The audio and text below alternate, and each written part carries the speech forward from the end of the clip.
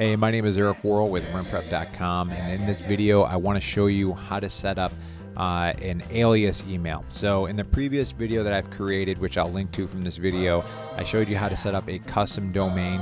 So uh, in this particular case, what we're looking at is the email handle Tori at tortoiserentals.com. That is all set up through G Suite uh, through Google.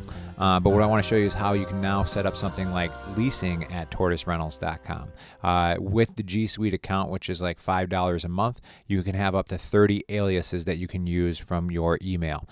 So what you're going to do is you're going to click right here to get to your apps and you're going to look for one that says admin. So you can see that right here. And you want to make sure that you're doing this from your account that does have admin control. In this particular case, this is Tori at tortoiserentals.com. So once we're in here, you can click users. And I have one user that I'm paying five bucks a month for. And then when you scroll down, what you can do is click on account, I believe it is and then we can go down and you can see that there's aliases. So you can add an alias and again you get up to 30 different aliases. So in this particular case I want to add leasing at tortoiserentals.com so I'm going to click save. In about uh, 24 hours uh, you will have this alias added into your email. So what you'll be able to do then is if you want to separate again your uh, email that you use for your business uh, from tenant applicants, you can have the leasing at tortoiserentals.com be the email that you use when you're putting, you know, rental listings out online. And then once you actually move forward and then have somebody who is a tenant uh, in your rental, then maybe you can use your property management email or your personal email. Um, in this particular case, Tori at Tortoise Rentals. But the cool thing is, is that you can have up to 30. So I could do um, let's say if you want to have people funnel their requests uh, for a request for um, a repair, I can do repairs at Tortoise Rentals. And then we're going to click save. Okay and then you can see how this is pretty helpful. This is all just off of one account, Tori at Tortoise Rentals, that I set up. It's a $5 account, and now these are saved right here. So um, I'll uh, cut this video here, but then we'll see how this looks inside of your Gmail and how you can use uh, Gmail to uh, switch between your different accounts.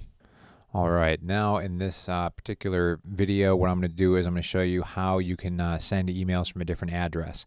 So we just uh, set up the leasing and also the repairs emails. So if we go in here and we go to settings in the upper right hand corner and we'll go down to accounts and imports. Let's see. Uh, we'll go to settings first and then accounts. So what we're going to do is add another email address here and then the email address, the name is going to be leasing email. Treat it as an alias, and it's going to be leasing at Tortoise Rentals. I forgot the T there. Uh, tortoiserentals.com. All right, next step. So when replying to a message, I'm going to reply from the same address the message was sent to. So that means if somebody sends an email to Tori, it'll reply from Tori. If they send an email to leasing, it'll reply from leasing. So I'm going to add one other quick one. Uh, and this one's going to be um, repair request. And I'm going to put in repairs at tortoiserentals.com. Next step. Okay, cool. So these are all set now. All right, so now when I compose an email, you can see that now there's a drop down option here. So uh, this is my main email. This is the admin account of my G Suite uh, account that I set up. But with the drop down now, you can see there's the leasing email and there's repair requests. So if I'm dealing with somebody with leasing, I can click on that, and now the um, emails will be sent from the leasing email as you can see right there.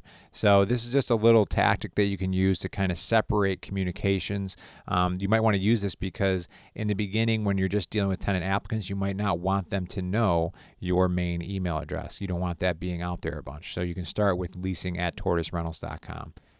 So now what we've done is we've created a system so that you can protect and hide your main email address that you have associated with your business and start with the leasing at Tortoise Rentals or leasing at whatever your custom domain is. And this will allow you, uh, you know, if you have an angry tenant applicant or somebody like that, so they're not um, you know, emailing your main account, and then you can have this alias set up uh, if you're a one-man shop. Now, if you have multiple people that you work with, you can also just create other user accounts. So then you'd have a leasing uh, account. But if you're starting out, the cheapest way to do this is just to create the aliases, and then you can toggle back and forth depending on what it is you want to send uh, from that email. So hopefully this video was helpful and in next week's video I'm going to show you how you can set up canned responses to automate your pre-screening process with your tenant applicants. I think you're really going to enjoy it, so uh, make sure you subscribe to these videos or just uh, comment below and let me know what you think of them. And uh, yeah, I'll be uh, in touch with you next week and uh, hopefully you're getting a lot out of these. All right, take care.